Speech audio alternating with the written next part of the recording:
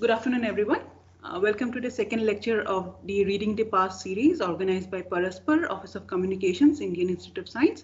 Today we have Professor Rajan Gurukkal who will be uh, speaking on Gandhiji's struggle against British imperialism, a reprisal in the context of decolonization. Uh, uh before we begin, I would like to give a short introduction of Professor Gurukkal. Professor Rajan Gurukkal is a well-known so social scientist, historian, educator, and author. Presently, he is vice chairman of the Kerala State Higher Education Council. After completing his doctoral degree, he joined the teaching faculty at the Center of Historical Studies of Jawaharlal Nehru University, New Delhi. He is former Vice Chancellor of Mahatma Gandhi University, Kottayam, and Soundararajan Visiting Professor at the Center for Contemporary Studies, Indian Institute of Science, Bangalore. He has published widely on socio-economic context, uh, cultural history, structural anthropology, historical sociology, and human ecology of the southern Western Ghats.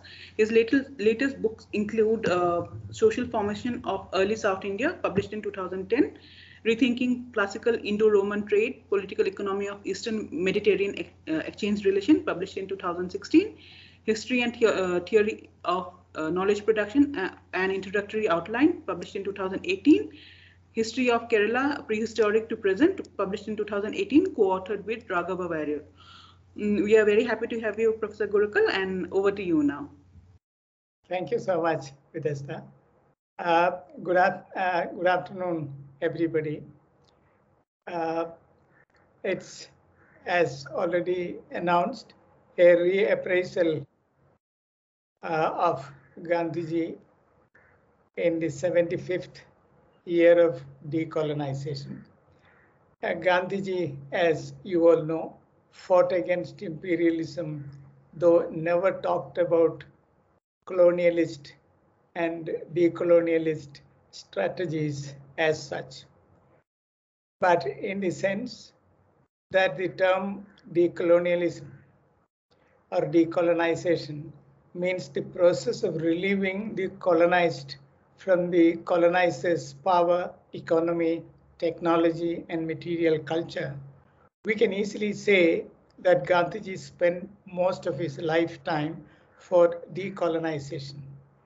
The term imperialism was originally introduced into English in its present sense of colonialism in the late 1870s by opponents of the allegedly aggressive and ostentatious imperial policies of British Prime Minister Benjamin Disraeli, the word decolonization was first coined in the 1930s by a German economist Moritz Julius Bonn, who lived between 1873 and 1965. Uh, he used the term to describe the liberation, um, liberation of or emancipation of colonies to self-governance. Now we get a better idea about the depth of decolonization from African writers. It was Chinua Achebe, who lived between 1930 and 2013, Nigerian novelist, who unveiled the complexities of decolonization. Now, in his Things Fall Apart, published in 1958, Achebe tells the story of a culture on the verge of change involving the complex problems of decolonization.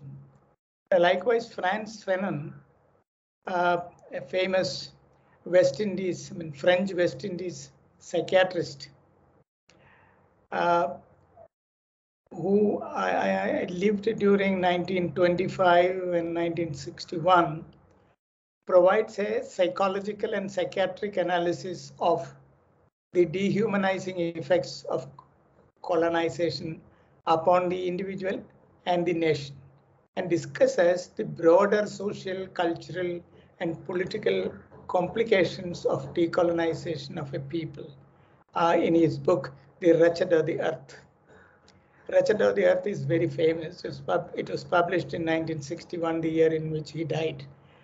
Uh, similarly, Ngugi wa Thiong'o, a Kenyan novelist and post-colonial theorist, writes in his collection of essays entitled Decolonizing the Mind The Politics of Language in African Literature, published in 1986, about language and its constructive role in national culture, history, and identity.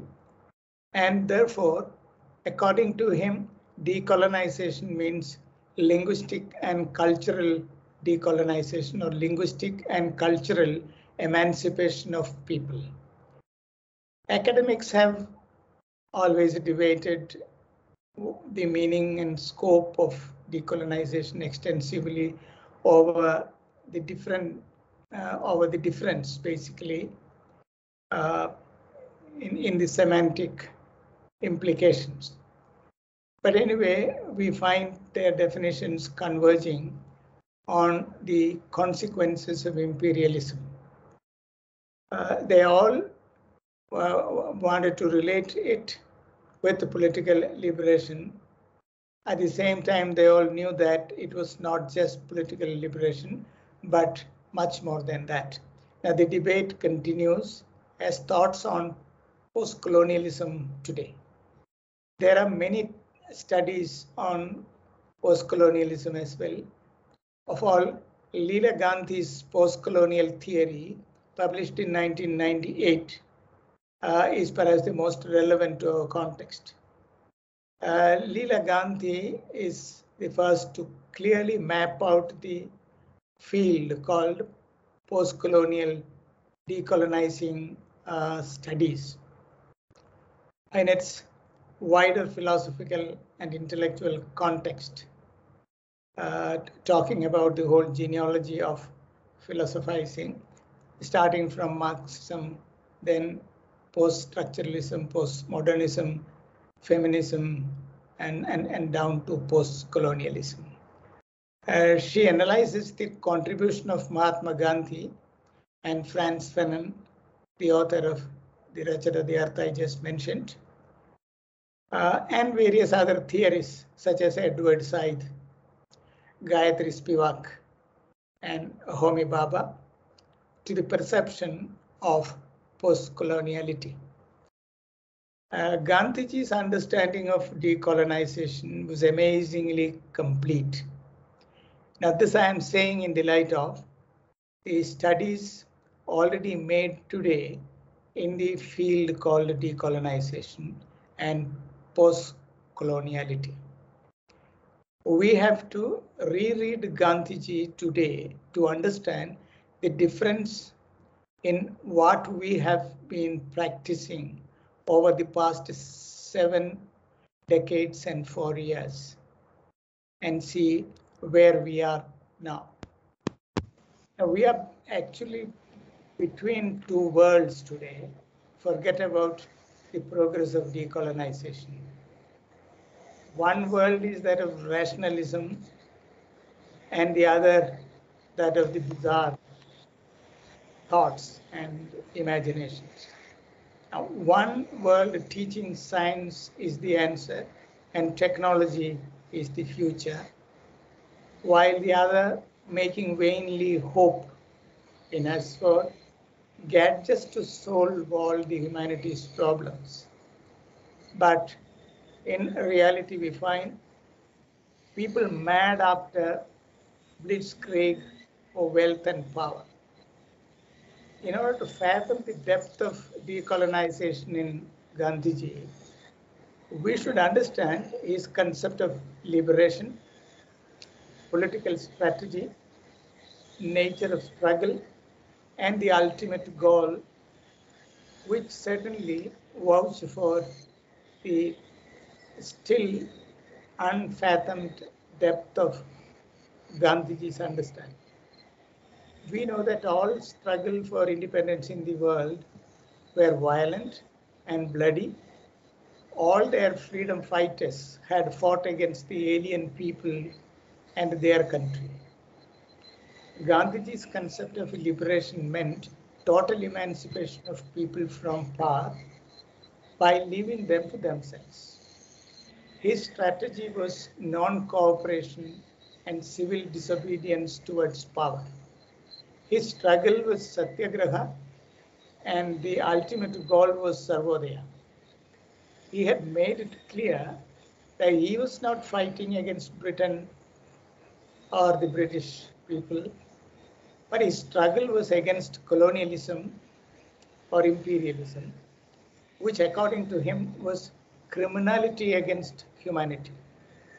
To quote his own words, in, in spite of my love of the British people, I think that imperialism has been their greatest crime against humanity. Gandhiji's fight was against European civilization, to put it in another expression. He saw European civilization as a combination of imperialism, authoritarianism of knowledge expressed in the form of science and technology, and a wasteful material culture. He took to debunking the Western civilization right at its height, remaining resplendent, confident, and feeling on top of all the world. Gandhiji knew very well that colonization always meant cultural uprooting and that the colonized would never be able to go back to the pre-colonial condition. Hence, the decolonizing efforts would assume two different stances, the non-compromising stand and the compromising one. The non-compromising stand would insist upon restoration of the past culture, restoration of the past linguistic condition, restoration of the past technology and knowledge base.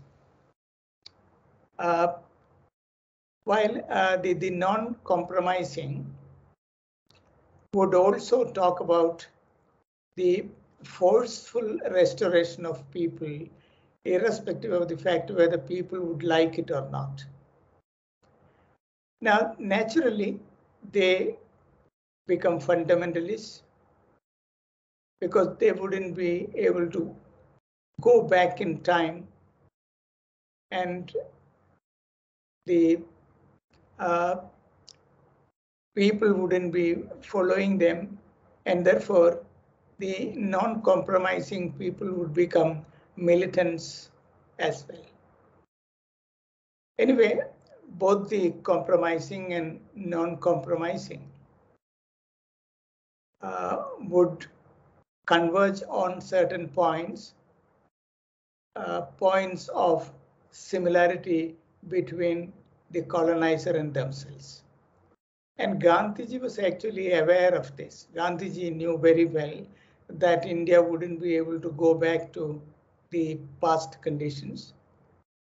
Uh, neither linguistically nor culturally, the subcontinent would be back to the pre-colonial conditions because the whole subcontinent represented an assembly of multiple unevenly developed cultures and various languages. It was not a subcontinent of any unified cultural setup.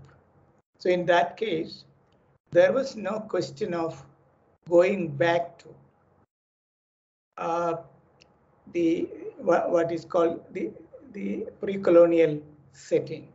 And also he knew very well that in the process of fighting imperialism, the fighters were imbibing certain measures and criteria of a nation to be built up.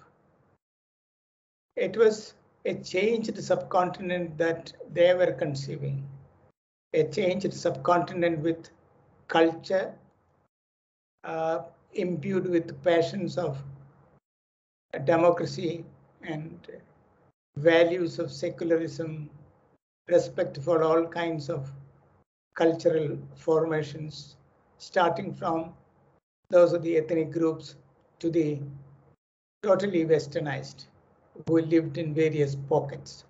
So therefore, Gandhiji thought about India afresh. He never had anything to do with the past as such. But at the same time, he certainly had multiple elements to be borrowed and adapted, borrowed from the past, borrowed from the past culture, and then adapted for, for making people conscious about the nation imagined, making people conscious about a subcontinent to be liberated from the imperialists. So both uh, the conformist and non-conformist elements might be there, but not to be part of any one, but to be transcending them.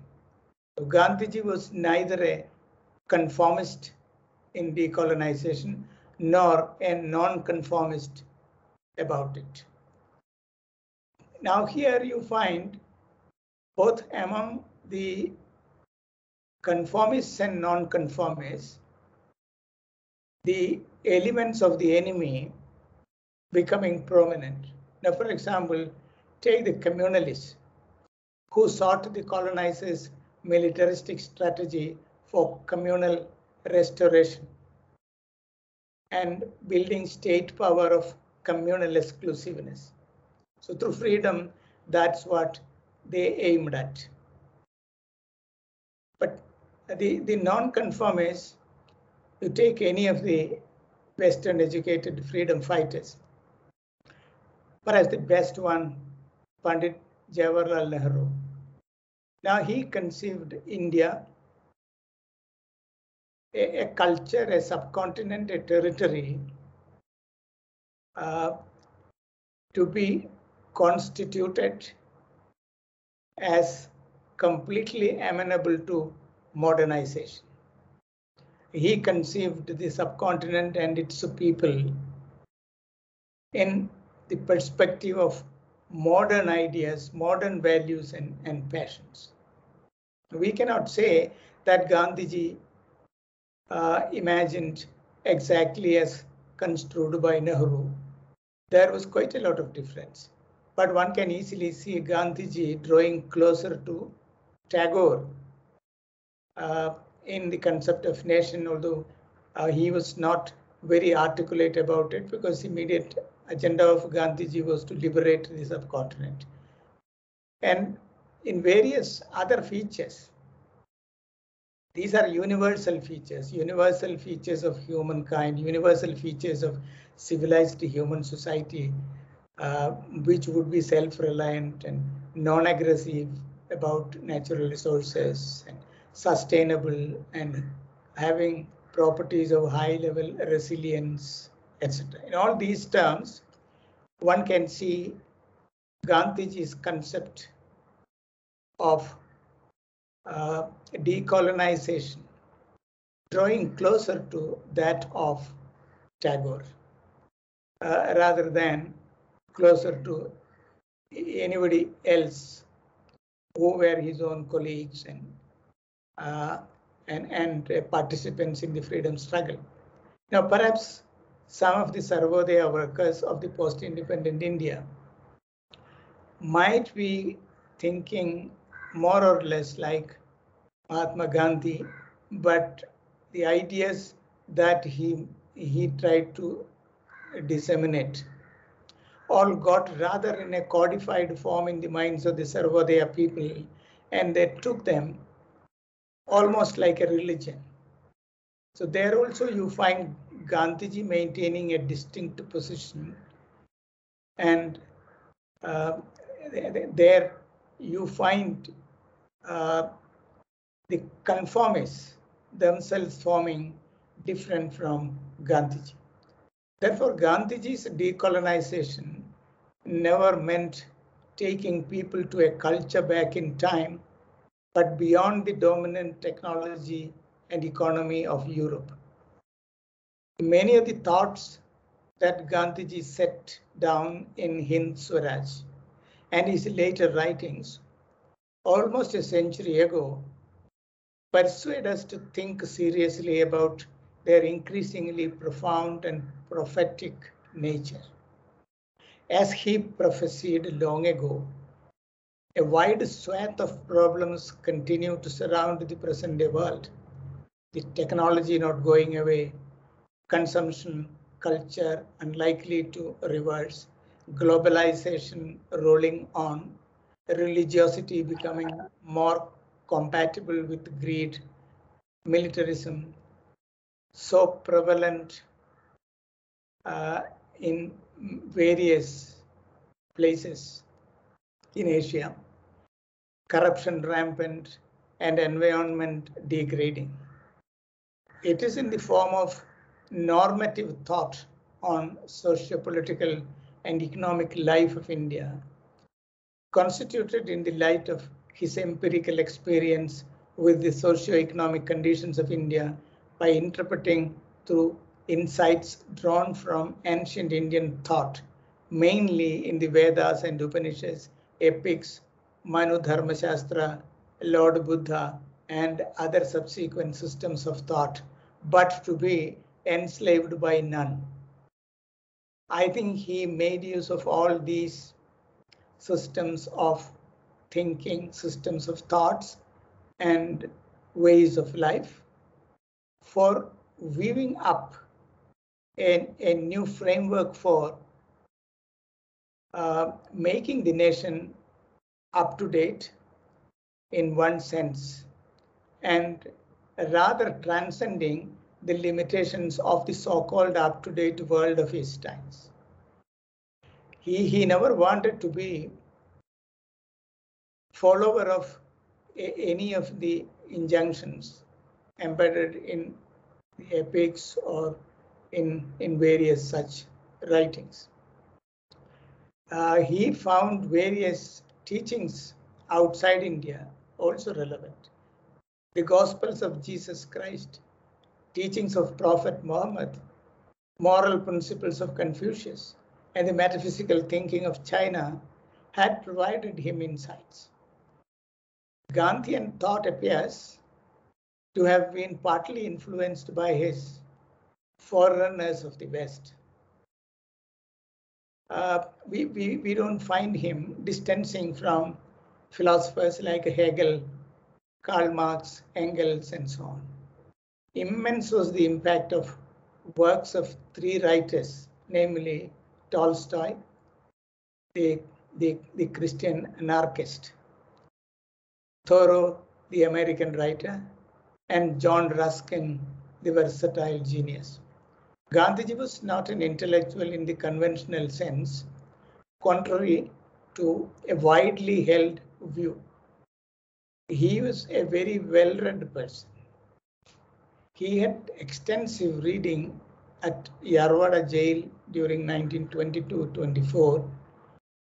Uh, uh, he, is mentioned to have read 150 titles and speaking on the basis of the archival references that included natural history of birds, Tom Brown's school days, Ramayana, the Quran, uh, Kipling, Socrates, Goethe's Faust, Jules' uh, um, uh, writings.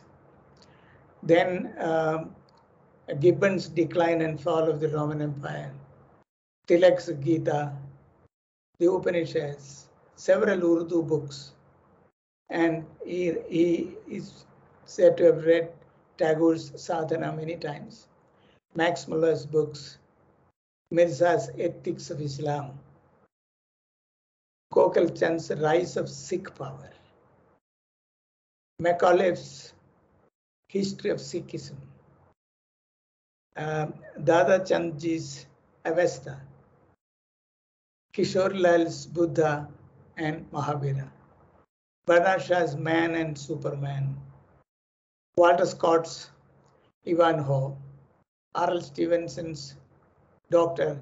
Jekyll, and so on. The list goes on like that. It was during Gandhiji's days as a prisoner in the Aga Khan Palace, again in Pune during 1942. Uh, he seems to have familiarized himself with Karl Marx writings. In Mahatma Gandhi, the last phase written by Pyarelal, Gandhiji's devoted secretary, refers to a lively and in-depth discussion on the Communist Manifesto and Das Kapital. Gandhiji said to Pyarelal that he could have written Marx better than Marx himself if he had his scholarship. Uh, perhaps he, he might have been joking. One could see the smiling face of Gandhiji saying that. But he meant certain deeper things by saying that. Because he criticized Marx for making certain very important things unnecessarily complicated. According to Gandhiji, the sum and substance of Communist Manifesto or Das Kapital uh, was simple, but Marx made it complicated following the uh, Western style of theorization. There, you can have a, a bright light about Gandhiji's idea of not only idea, idea and extent of decolonization which should take place in the independent India. With the theoretical assertion of Marx, uh, it insisted historicizing almost as an analytical precondition for theorization and explained every fundamental change about human affairs and social processes on the basis of materialistic causation uh, as the, the ultimate instance. It is necessary to be aware of the fact that Gandhiji did not propound any systematic theory as such. Now, I think it was a, a purposeful a strategy adopted for distancing intellectually from the Western heritage, Western heritage in the domain of intellectual contributions. Now, whatever phenomenon he analyzed, now his his intellectual depth was certainly uh, on a par with what the Western thinkers arrived at. Gandhiji's intellectual approach seems to be a combination of both realism and idealism. But while talking about realism, he was trying to distance himself from Karl Marx. And also while thinking about idealism, he was distancing himself from Immanuel Kant and Hegel. So very often, Gandhiji used the method of eclecticism as a modern uh, critique of philosophy would say. Now, his was a fusion of empirical pragmatism with metaphysical idealism. Gandhiji was a Western educated, accomplished political leader of Renaissance Enlightenment exposed deeply to the intellectual spirit and sobriety of European knowledge, but only to establish a relationship of encounter with the entire legacy of the European civilization.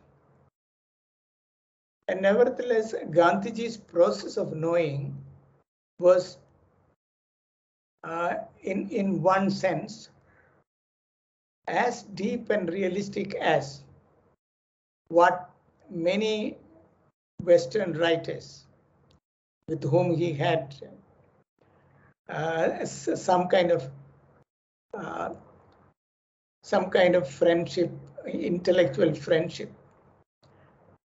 And uh, in, in his understanding, uh, you you find the the same depth, but there is a, a difference, a difference about it, not only in uh, articulation, not only in communication, but in the very structuring of the knowledge, in the very structuring itself. It was a deeply analytical process based on a posteriori reasoning, that is, critically revisiting the a priori judgments he was not accepting anything empirically given as true.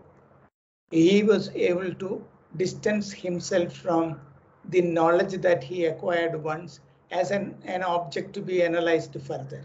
It's in that sense we consider him uh, an a posteriori uh, thinker.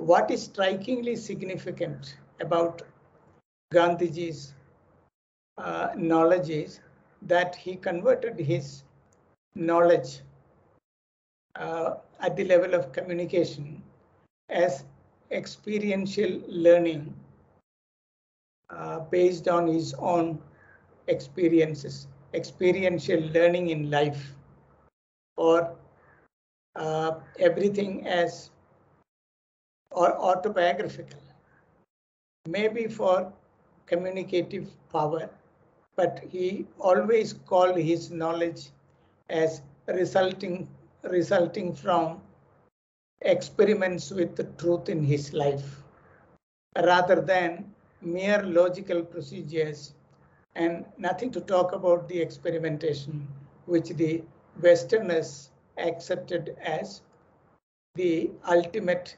strategy of establishing veracity with the theoretical assertion of Marx, uh, Marx uh, if you uh, compare Gandhiji's ideas, you can see amazing kind of convergence of both.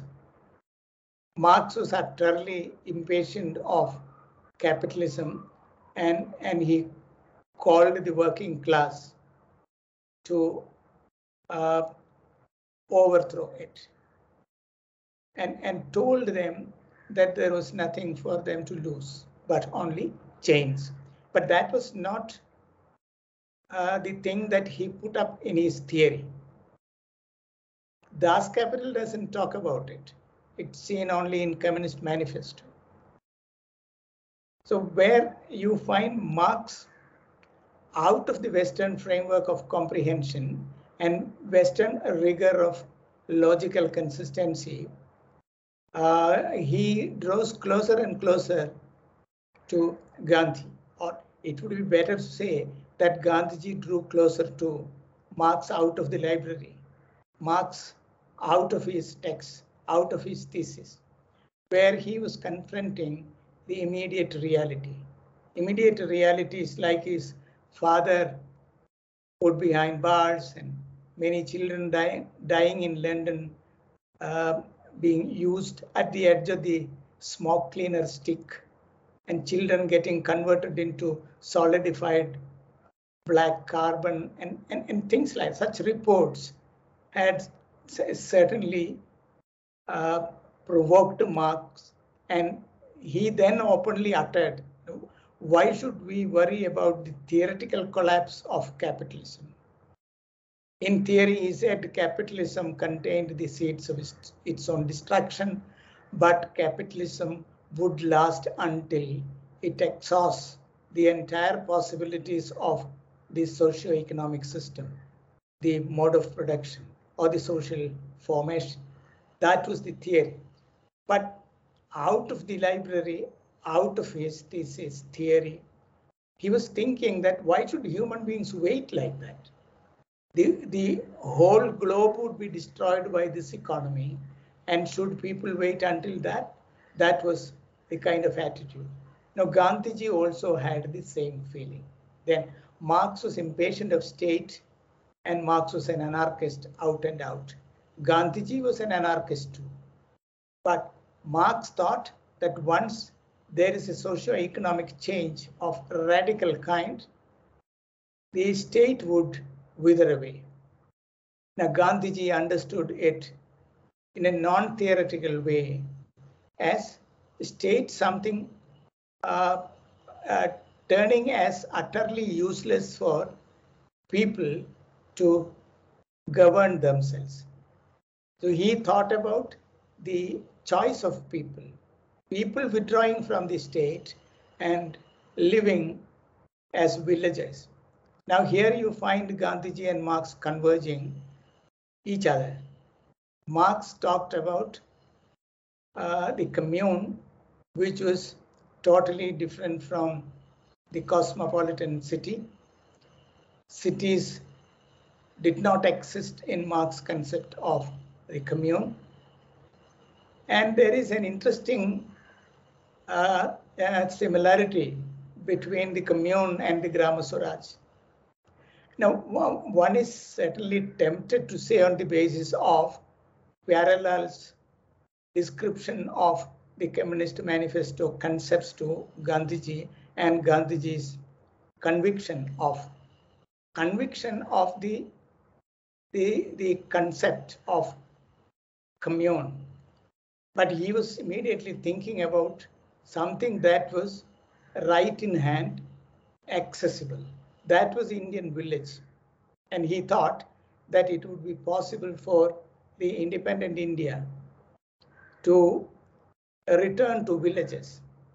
And that's what uh, Kumarappa tried to demonstrate in front of Pandit Jawaharlal Nehru by going to the assembly hall in a bullock cart.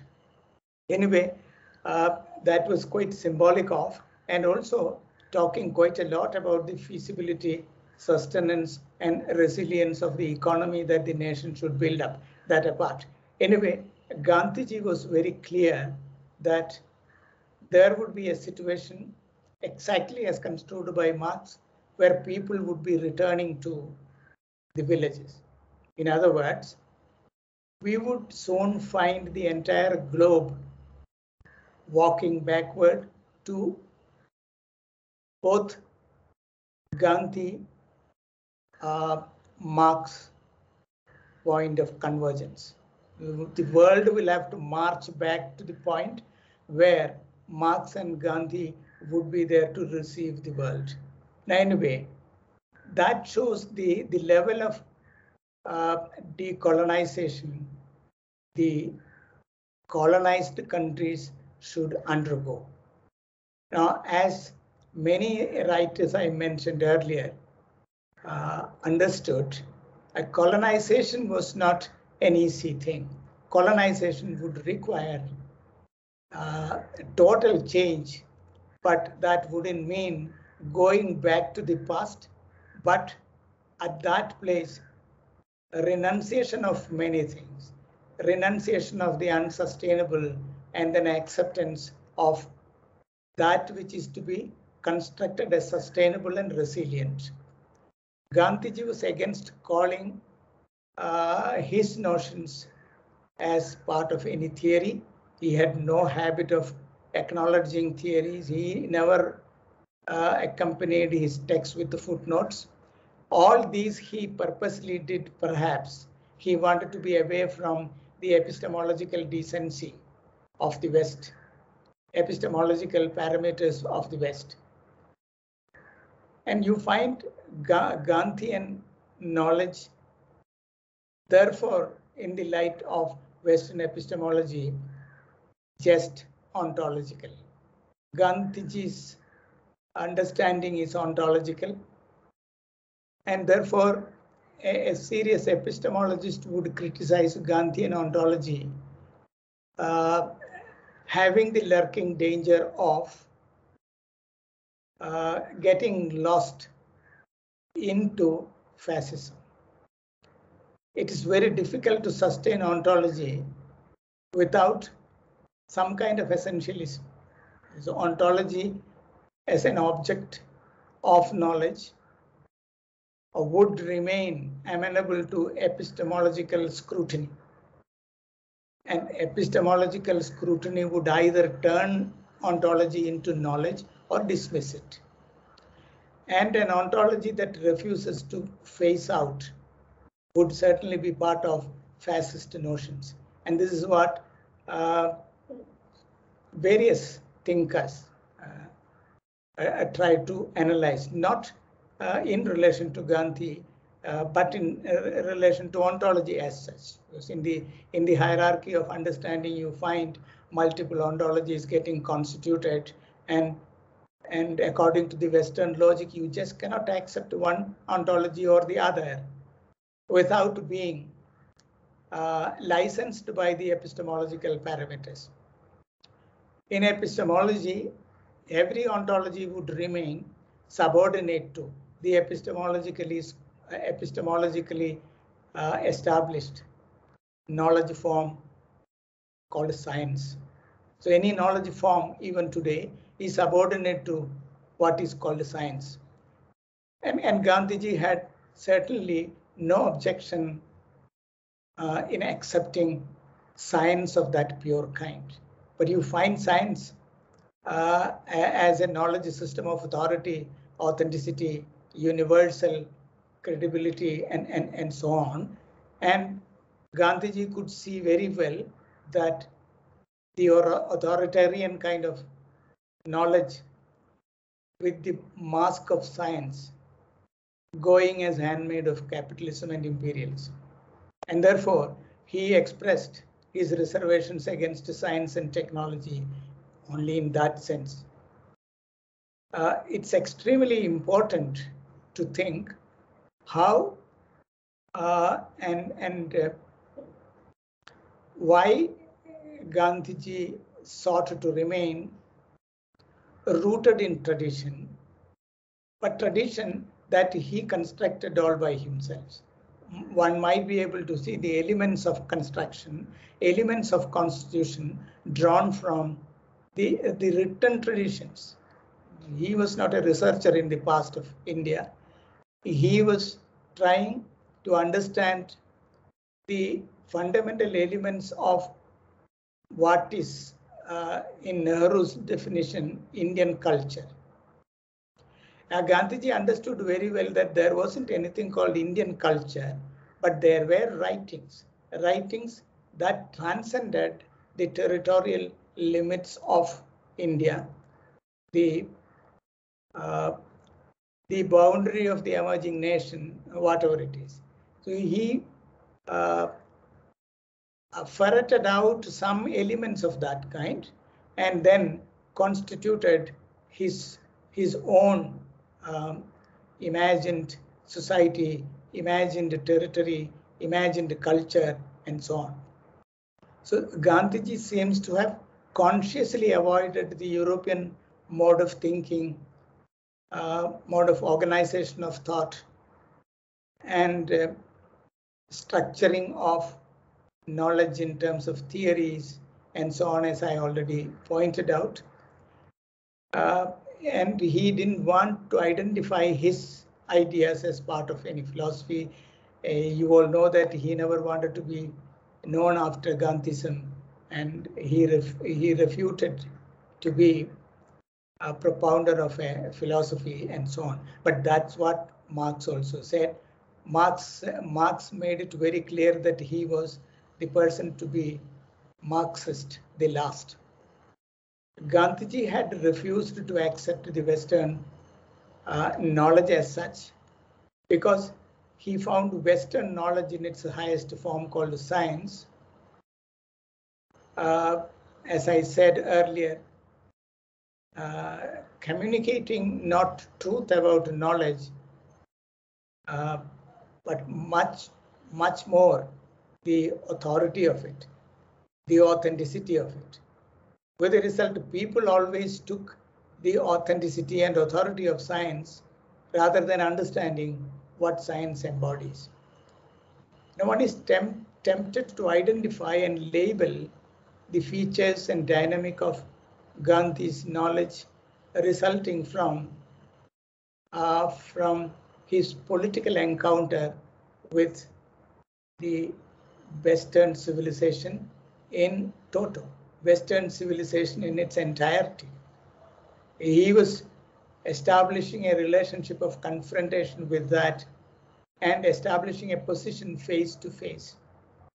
Here you find the difference between the other decolonizing leaders, writers, intellectuals, and Gandhiji. Now, for example, you take Pandit Jawaharlal Nehru, was certainly establishing a relationship of confrontation with the West, but for political emancipation. He was very much a modernized leader and he was influenced by modern thoughts. He was a typical Cambridge product in, in, in politics. He was a socialist, he was a Republican. So he was not uh, thinking about India as construed by Gandhiji.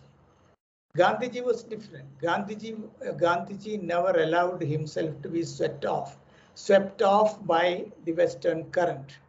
Instead, he positioned himself facing it, in the process of which he was able to acquire the dynamic of the, the dynamic of uh, Western uh, civilization, the entire power of the Western uh, civilization uh, could be uh, absorbed by him, but facing it.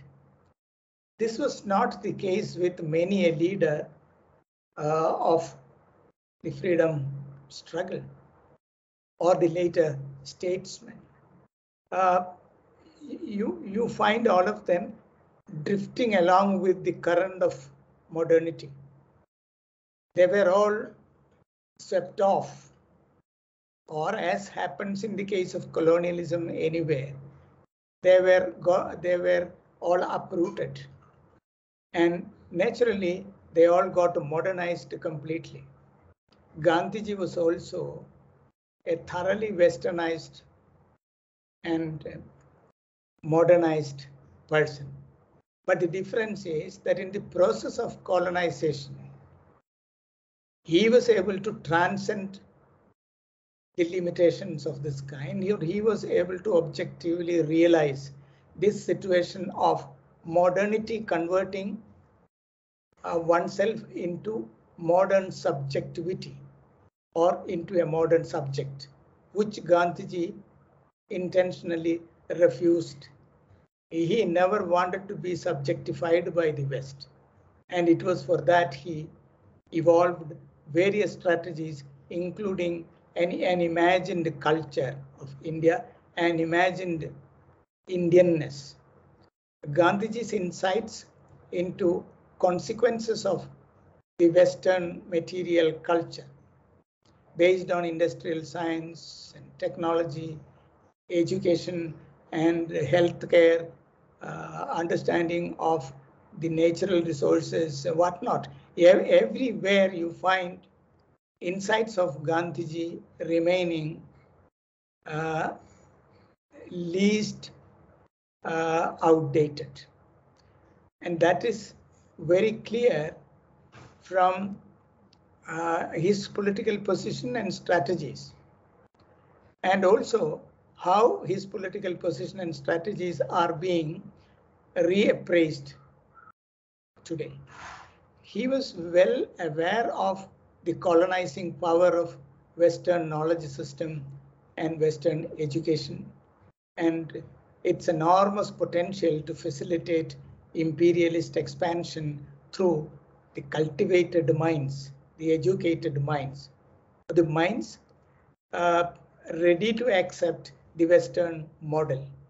Gandhiji was first to realize that education was a very powerful institution of the colonial power, the imperialist power, because that was preparing children to be uh, harmless conformists.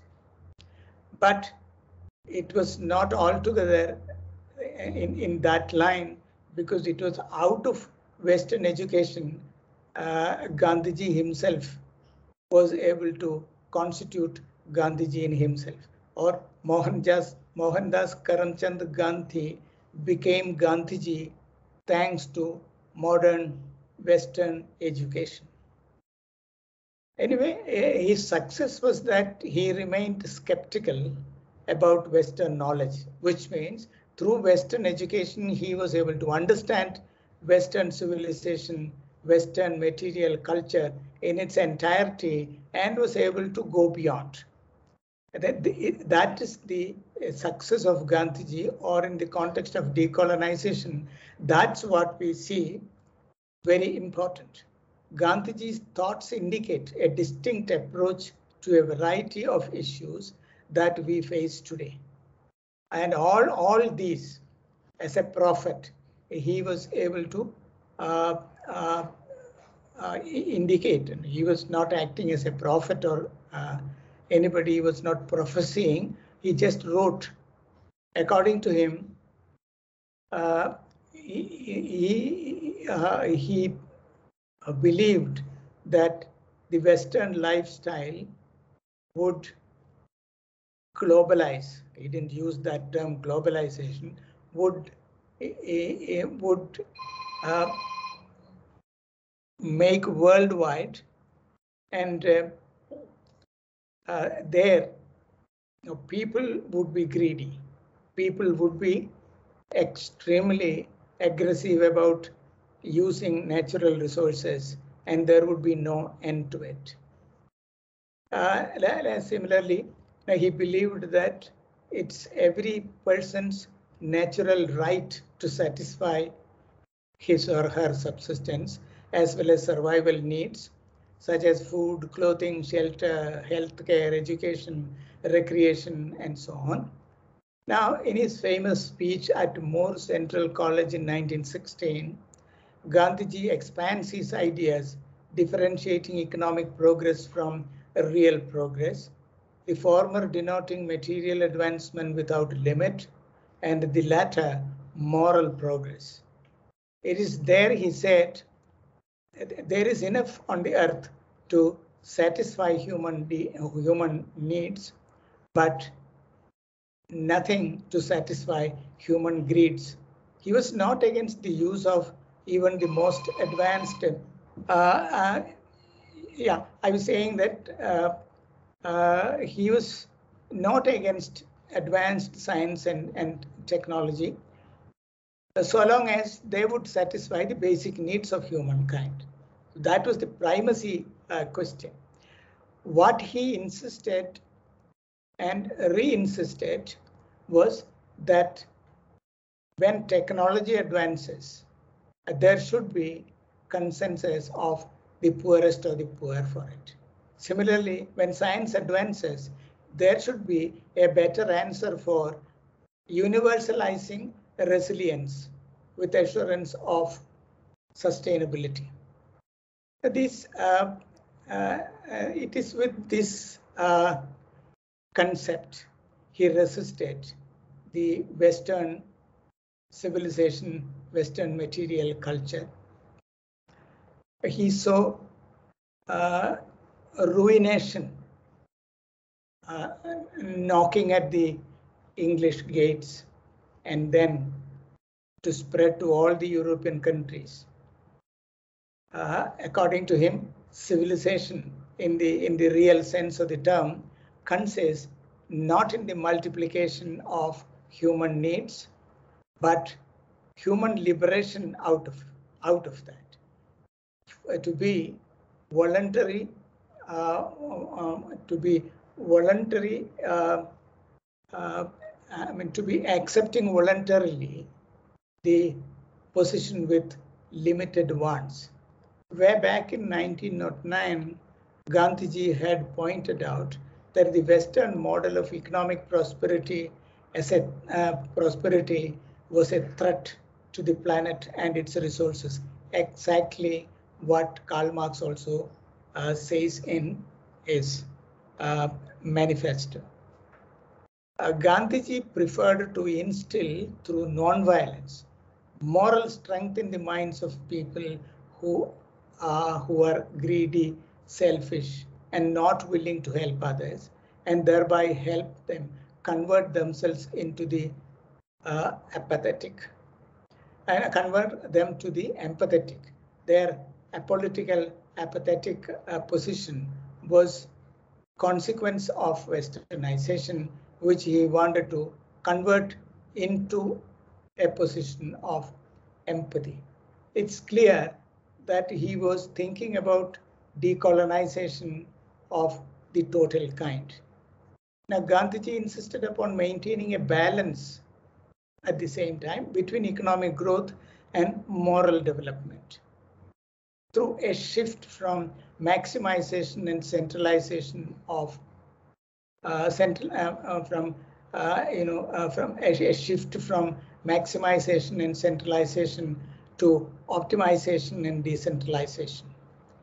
Now, all these are still becoming important goals for the modern world. You, you have to take this as very important that all these were ideas put across by him in the context of Indian independence movement. When he was leading the struggle, he was airing all these ideas. Now we have to piece them together to see the kind of decolonization Gandhiji uh, was having in mind. Now this would uh, uh, see naturally uh, uh, help us critically reflect upon what is going on uh, going on today. Are we are we witnessing a non-conformist kind of decolonization, uh, deliberately uh, taking efforts to put the nation back to the pre-colonial passions, values, and ideas? Or is there a serious debate across this? But sometimes we find a lot of people for uh, various uh, interests of uh, the contemporary value joining the the power forgetful of the implications and consequences even there are many scientists who who just ignore various other things they wear the mask of tradition mask of culture mask of uh, the heritage of wisdom and so on. It is true that there existed knowledge, but knowledge already converted into a different kind of system because of the colonial uh, uprooting. It's very difficult to go back to it. It is not even that. Even before that, the knowledge uh, was not as it was given, you, you find various systems of knowledge coexisting and interacting, confronting and entering into conflicts in the subcontinent. Uh, if you go to the past. Now you find as far back as 400 AD, uh, there was a major conflict between the Upanishadic thinking and then the Bhagavata kind of thinking. Bhakti that uh, existed and then the Nirguna Parabrahma concept also that existed, nothing to do with the concept of God. Various Upanishads never uh, uh, conceived the idea of God. They talked about universal power, universal consciousness, and every living um, objects as part of the universal consciousness and so on. Metaphysical in nature, but at the same time, talking about certain phenomena uh, which contemporary people were not able to understand. Therefore, they converted expressions like Aham Brahmasmi, Sarvam Kalvidam Brahma, Prajnanam Brahma, and so on as Mahavakyas. Tattvamasi as Mahavakya. There are Mahavakyas and all these Mahavakyas were freely used by the later Bhakti scholars just to communicate the idea that there is, I mean, there was only one God. There was no discussion of God at all in all these. So the very conversion of some of the uh, philosophical or, uh, see, dense metaphysical utterances into highly simplified theistic utterances was a, a major transformation. I'm talking about a transformation of culture uh, far back in time. Nothing to talk about the uh, transformation, adaptation, and then uh, adjustment of the past culture as understood by the Orientalists of the time the 19th century Orientalists. What Max Muller understood was put across in his volumes.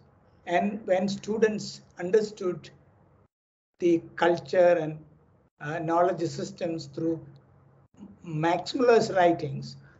Now, they were only internalizing what Max Muller had approximated uh, to his own understanding, his own experiences.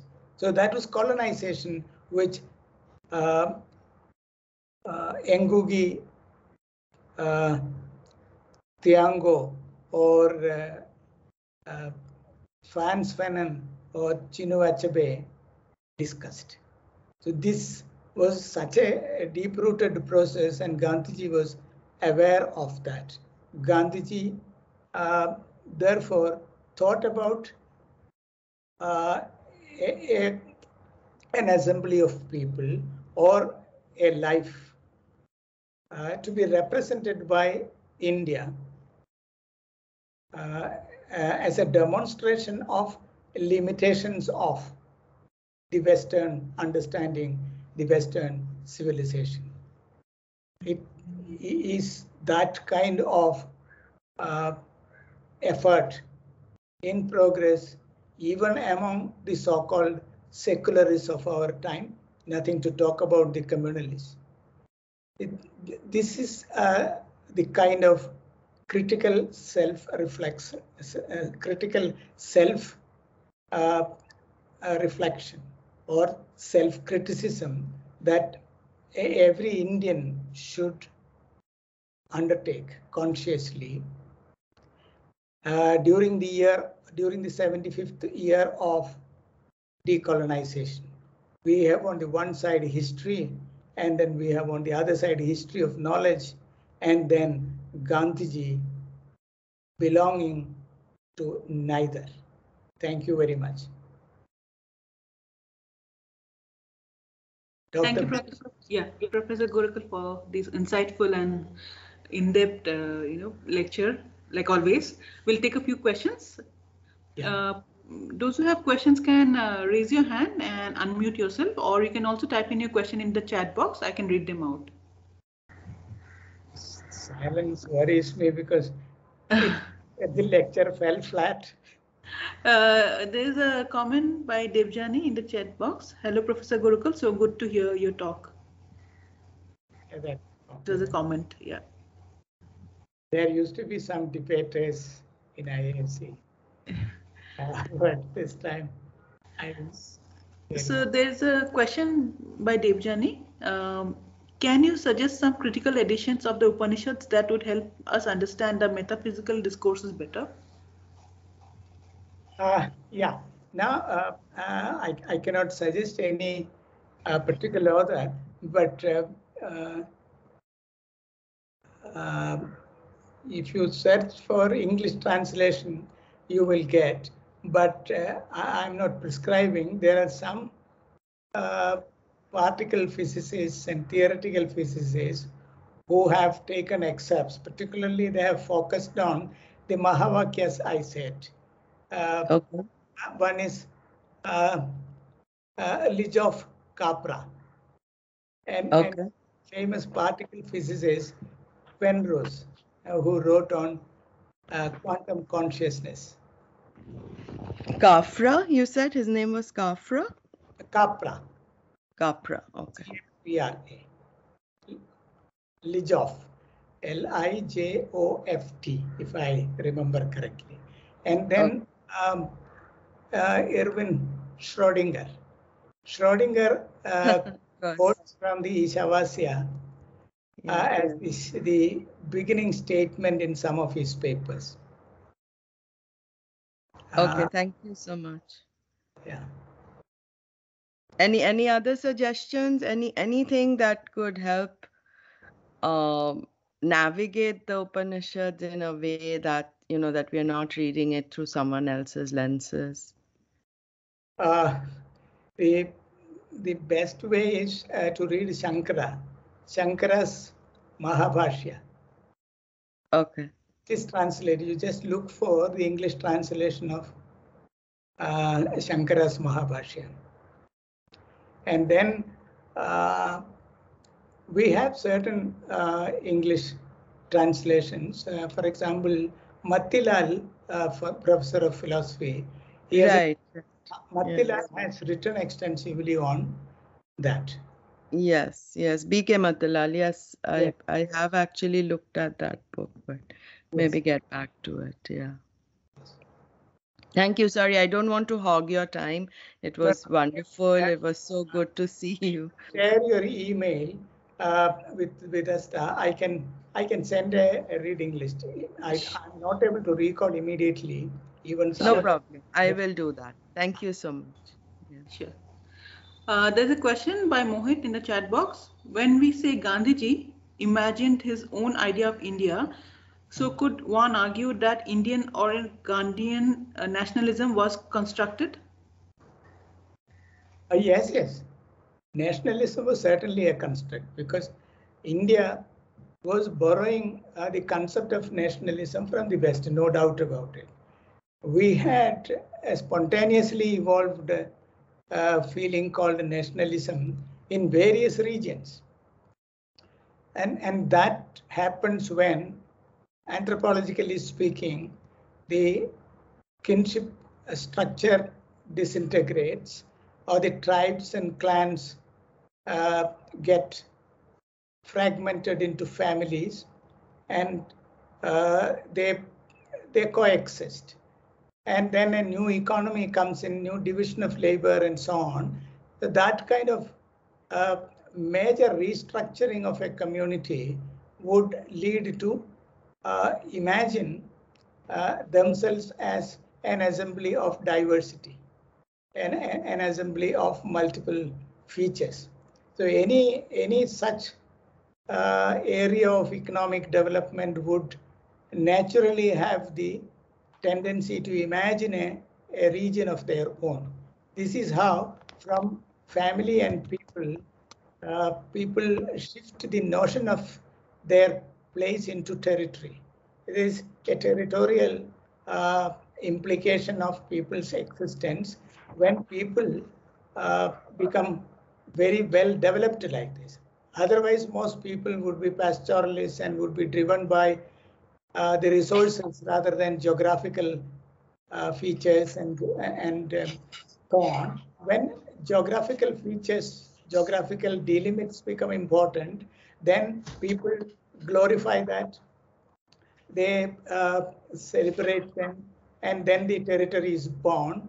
But within the geographical limits, you have uh, diversified people, stratified people, uh, some hierarchy, sometimes heterarchy, all these would be there. And then people automatically, for their uh, safety, uh, uh, imagine a well protected territory. This, and this is first expressed in historical novels. Uh, Walter, Walter Scott uh, theoretically this very much, and and also uh, various other other thinkers. And and uh, you find everywhere in the country, also in India, a regional novelist coming up with uh, a passion for local kings and ruling families and you find nationalism sprouting like that. But when a big movement came, uh, it was it was uh, indispensable for the freedom fighters to conceive a, a new nation dedicated to the proposition that it would be a democratic, it would be republican, and it would be secular. That is imagined thing. And Frederick uh, Frederick uh, Anderson um, talked about uh, nation as imagined community. And famous writer Homi Bhabha talked about nation as narration. That nation is narrated in the form of novel diversities, diverse characters belonging to different cultures and different languages, all kinds of things. So nation is a, a making in um, a, a, making uh, corresponding to the socio-economic and political development. There is a, another question. By Kavita Kumari. Um, can we assume that European knowledge had come to India through Gandhi? Knowledge came through Europeans themselves. Because Europeans were interested in studying India's past, and uh, the scholars like uh, Colebrooke and uh, Eden Johns and large number of people, they brought ideas about uh, history itself. Right? Uh, as part of the colonial project of mapping the geography, they brought geography to India as uh, narrating the the narrating the empire of uh, uh, Britain. They brought uh, the method of writing history. All these were colonial, and then out of this, uh, Indian intellectuals wrenched themselves away from uh, the, the shackles to constitute what is called India. But what I am saying is uh, that level of decolonization was uh, very, very elementary compared to uh, what Gandhiji had in mind. Gandhiji, Gandhiji viewed India, which is totally different from what any of the statesmen could conceive. And, and, and think about the way we conceive India today, or think about the, uh, the dominant perception of the country. And, and, and you take uh, uh, uh, the, the difference in terms of uh, elements of the West involved in them. Although apparently there would be various things, but it is totally different when uh, juxtaposed to the Gandhian concept of nation or Tagorean concept of nation, which was universal, of course, but Tagore uh, was not interested in a geographically limited uh, uh, nationalism. But Gandhiji certainly had the, uh, the project in mind because he wanted to go ahead of Europe with a model replicable everywhere. He was, like Marx, able to see the collapse of Western materiality and uh, imperialism. Uh, and then there should be a more ideal kind of situation, and that he thought India would practice. Is there any last question? I think there are no more questions. Uh, so we'd like to close yeah, the lecture today. Thank you, Professor Gurukkal. This was a very fitting lecture in the 75th year of India's independence, where we need to take stock of the country and the idea of nationalism. Thank you so much. We hope to hear from you again very soon. Thank you. Bye. Bye, sir. Shall I take leave? Yes. Thank you.